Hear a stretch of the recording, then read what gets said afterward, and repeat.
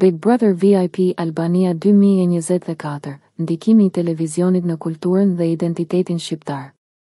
Big Brother VIP, një prej emisioneve më të ndjekura në skenën televizive shqiptare, po shkakton debata të mëdha dhe reflektim mbi kulturën dhe identitetin tonë si shoqëri. Në një kohë ku shoqëria jonë po përjeton ndryshime të mëdha sociale dhe kulturore, transmetimi i këtij emisioni sjell në pah shumë aspekte të rëndësishme të jetës së përditshme dhe perceptimeve tona. Në edicionin e dy mijë e njëzet e katër, Big Brother VIP duket se ka kaluar në një nivel të ri të kontroversës dhe ndikimit të tij në publik.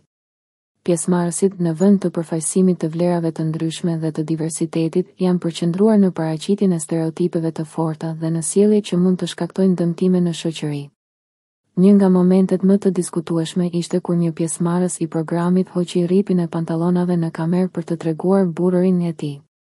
Kjo sjellje nuk ka bërë asgjë për të promovuar diversitetin ose për të ndërtuar një dialog të ndërgjegjshëm në shoqëri, por ka ndezur një debat të madh mbi respektin për veten dhe për të tjerët.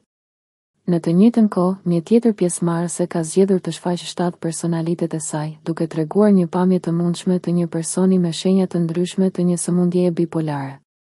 Kjo nuk është vetëm një shfaqje televizive, por një reflektim i thellë i realitetit në shoqërinë tonë, ku shëndeti mendor ende është një temë e tabuizuar dhe e mohuar. Megjithatë, problemet nuk ndalen vetëm te individët. Shfaqja e një atmosfere të ngarkuar me ulërima, ofendime dhe injorancë tregon një përqasje negative ndaj vlerave dhe respektit për të tjerët. Në vend të promovimit të artit dhe kulturës, Big Brother VIP ka shndërruar shfaqjen në një platformë për përhapjen e urrejtjes dhe paditurisë. Dhe këta e mbajnë veten si artistë, por nuk kanë aspak shpirt artistik.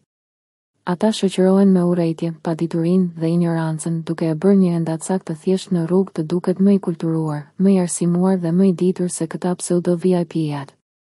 Në këtë kontekst, është e rëndësishme të pyesim veten, çfarë po transmeton ky emision tek shqiptarët dhe të gjitha travat shqipfolëse?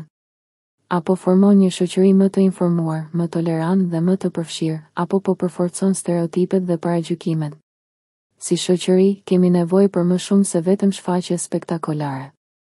Ne kemi nevojë për programe që nxisin dialogun dhe reflektimin, që promovojnë diversitetin dhe respektin për të tjerët. Është koha që televizioni të jetë një burim i arsimit dhe kulturës, jo një platformë për përhapjen e urrejtjes dhe injorancës.